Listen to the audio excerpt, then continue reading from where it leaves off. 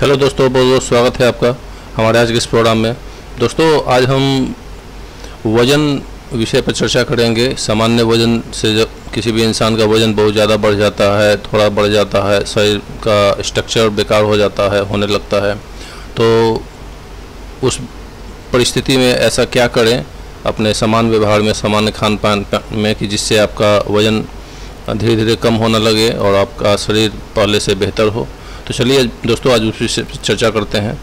दोस्तों, कभी भी आप अपने दैनिक आहार में जो कुछ भी भोजन करते हैं, खा रहे हैं या नहीं खा रहे हैं, जो कुछ भी आप सेवन कर रहे हैं, सबसे पहले दोस्तों ये बिल्कुल अपने दिमाग से निकाल लें कि आप अगर भोजन की मात्रा अगर ज़्यादा खा रहे हैं, अगर उस मात्रा को अचानक से बिल्कुल से कम कर दें, आप फास्टिंग करना शुरू कर दें तो आपके वज़न में तब्दीली आ जाएगी, ऐसी कोई बात नहीं है। दोस्तों अंतर सिर्फ़ इतना आपको करना है कि जो कुछ भी आप खाते हैं, उसे खाएँ, लेकिन कभी भी अपने भोजन के आहार को बिल्कुल भी कम ना करें।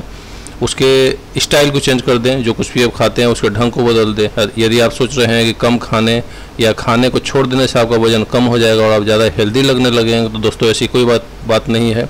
ये आप गलत सोच रहे हैं। इसके लिए दोस्तों, आपको ध्यान देना होगा कि अगर अपने वज़न में हेल्थ में सुधार चाहते हैं तो डाइट डाइट को नहीं डाइट लेने के ढंग को बदलिए डाइट के स्टाइल को बदलिए।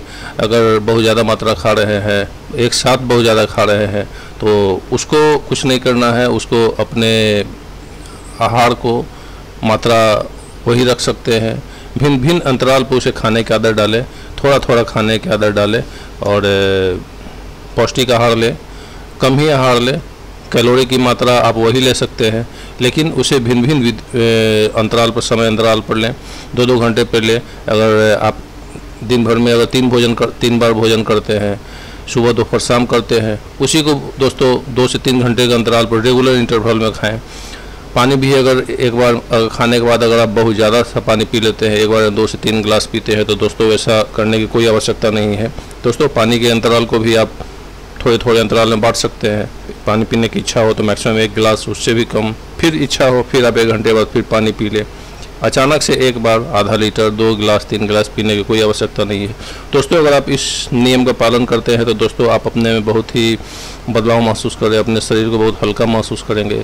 और इस प्रक्रिया से जो कुछ भी आप भोजन करेंगे, आपको खाना भी अच्छे से डाइजेस्ट होगा, आपका डाइजेस्टिव सिस्टम भी अच्छा होगा। दोस्तों, मैं बार बार कह रहा हूँ कि आपको अपने खाने की मात्रा में बदलाव नहीं करना है, बिल्कुल से बदलाव नहीं करना है। कैलोरी की मात्रा जो आप पहले लेते थे, अभी भी कैलोरी की मात्रा आपको वही मिलेगी। केवल खाने के ड्यूरेशन को आपको छोटे छोटे छोटे अंतरालों पे बढ़ा देना है।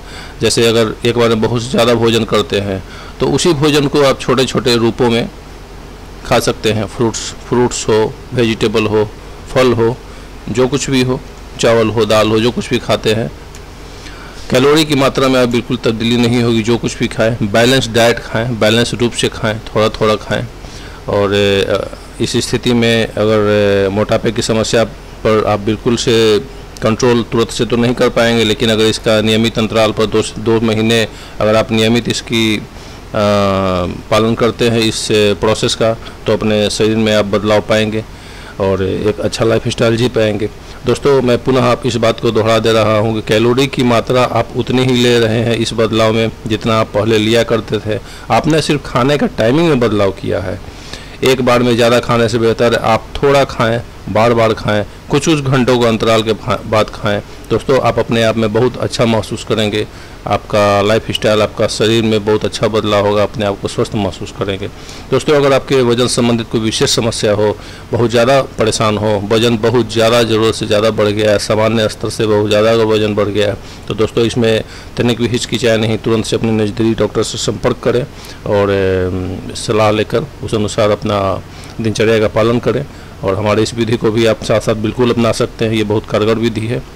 तो दोस्तों, वज़न बढ़ने की समस्या में मैंने बहुत सूक्ष्म तरीके से, सामान्य स्तर से आपको बताने की कोशिश की है। केवल आहार के टाइमिंग में आपको चेंज करना है। जो कुछ भी खाते हैं, उसे खाते रहें और हेल्दी चीज़ें खाएँ।